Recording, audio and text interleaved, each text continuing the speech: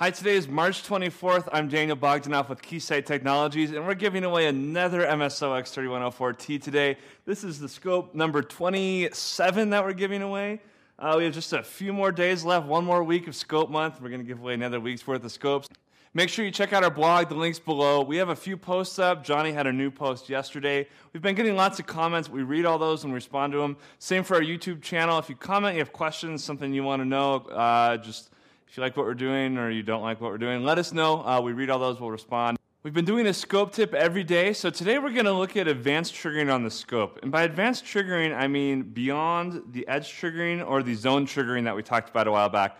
Uh, real quick, if you don't know what zone triggering is, there's a video right here that has that. Um, essentially, most people on the scopes just use an edge trigger. They turn it on, they kind of scale it however, want, however they want. Uh, with our built-in ASIC, we've done a lot of advanced and really cool triggering uh, capabilities. So let's take a look at those. Okay, so here I have a signal, and it looks like I have some runt pulses going on in here. And an edge trigger is not going to be enough to isolate these runt pulses and figure out what's going on. So let's set up a runt trigger. So I'm going to hit the trigger button to change the trigger type to runt. And whoa, what happened? Um, looks like I have to set my threshold levels. So I'm going to set, I have two different trigger threshold levels instead of one like I had for an edge trigger. And I'm going to go ahead and, and change those levels. So first I'm going to control the low, and I'm going to move that with my trigger um, knob here. And you can see there's, I'm catching a runt pulse. Essentially, that pulse is hitting the high threshold, but not the low threshold. And then I can also move up the high threshold, and let's see if there's anything else here. Ah, once I get this high threshold higher up, I can see that I have both positive and negative runt pulses. And I can toggle through those. So if I just want to see the positive runt pulses, notice that these runt pulses hit the trigger low but not the trigger high, so they're, they're triggering. Um, if I change it to low runt pulses, they hit the trigger high but not the trigger low threshold. Um, and this is a great way to isolate your runt pulses and figure out what's going on in your system when this is happening.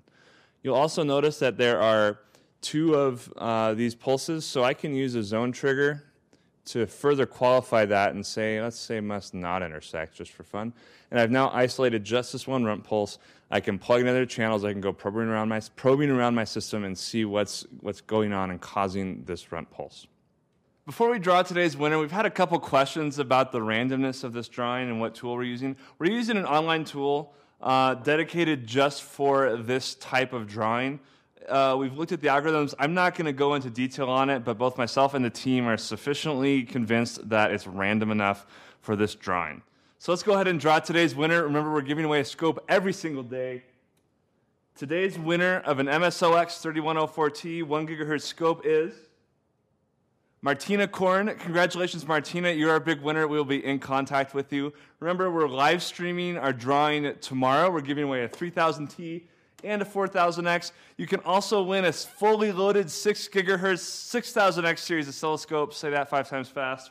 Uh, you can upload a video to Test to Impress, and we will review those videos. March 1st, the voting goes live, the videos go live, and we will uh, April 1st rather, and we will have voting open for two weeks. As always, like our Facebook page, subscribe to our YouTube channel, and tell your friends about Scope Month using the share button below. Thanks for watching. I'll see you tomorrow at our live cast.